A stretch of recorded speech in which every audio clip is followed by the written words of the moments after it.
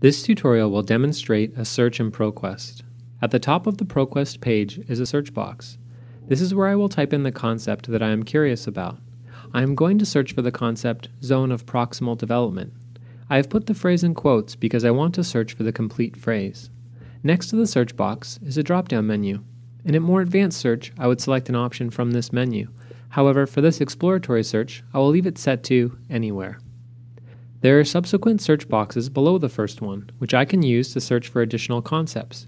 For example, I am curious about the relationship of scaffolding to the zone of proximal development, so I have typed in scaffolding in the search box preceded by the word and. This is because I am interested in the research that makes use of both concepts. I then click the search button. The results of my search are displayed on the page, and as I scroll down the page, I can see the title and other details of each relevant result that ProQuest has found. You are always welcome to email, phone, or visit in person the OISE Library for personal research assistance.